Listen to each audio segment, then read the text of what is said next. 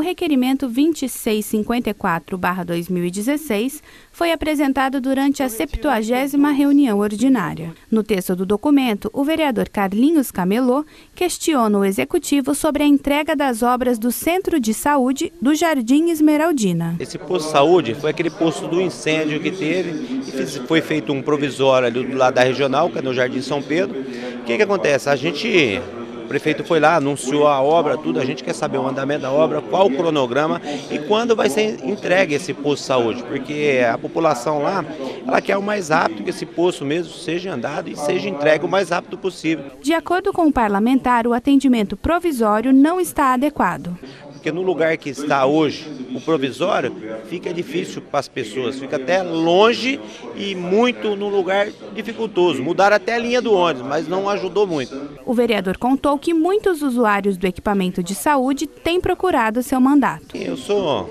daquela região ali, eu fui criado naquela região, a gente tem andado muito ali, a gente recebe muita reclamação das pessoas, sim, principalmente das pessoas que são do Esmeraldina, as pessoas que são do Jardim Estoril, do Jardim Aliança que o posto era ali próximo.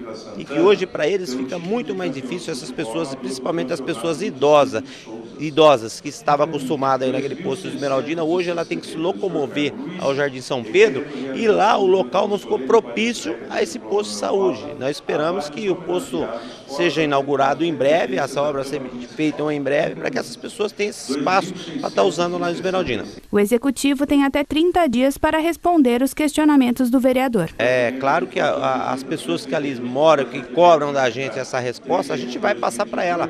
Mas também, se a gente tiver uma, um prazo mais longo, a gente também vai sentar com o secretário ou até mesmo com o prefeito para saber se também encurta esse prazo para que as pessoas sejam contempladas nesse, nesse, nesse posto de saúde. Então é isso que nós esperamos, que as pessoas hoje, ela quer, ela quer um posto de saúde com dignidade que era o, o, o posto para eles ser atendido ali. Então é, a gente quer o mais rápido possível que esse posto saia e que as pessoas ali sejam contempladas o mais rápido possível.